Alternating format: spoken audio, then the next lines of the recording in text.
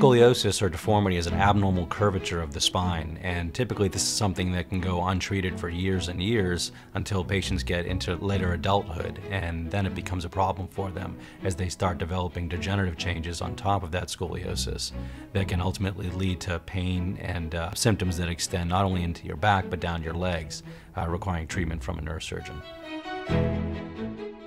So there's a variety of ways that you can treat scoliosis, and there's the traditional treatments, which are open procedures performed from the back when necessary, but more recently we've come up with some minimally invasive procedures to treat scoliosis and deformity. And oftentimes what we're capable of doing is coming from the side of the spine and removing portions of the spine called the discs uh, that are often the parts that have become abnormally oriented. So if we remove the disc, which is in a wedge shape, and we replace it with what we call a cage or bone graft that is now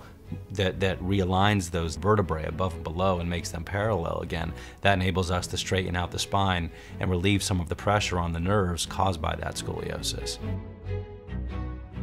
During the surgery, there's a lot less blood loss, there's a lot less destruction to the surrounding tissues, and therefore patients have much less pain associated with the surgery itself. They're out of the hospital faster, and they're able to simply get back to life much, much quicker.